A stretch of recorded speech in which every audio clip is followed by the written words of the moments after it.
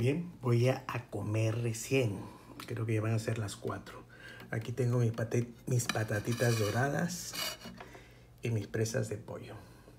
Pero vamos primero con la sopa.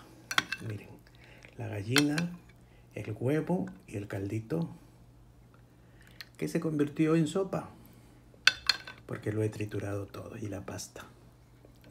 Esto en Perú es algo parecido al caldo de gallina. Miren. Y aquí tengo mi pollo frito, las alitas, todo calientito, todo calientico y el pollito. Vamos a cortar pan. Aquí tengo el rocoto,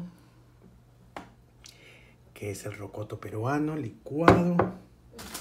Y tengo mi pancito, que ya he ido picando un poco. Pues miren, vamos a comer recién nuestra sopita.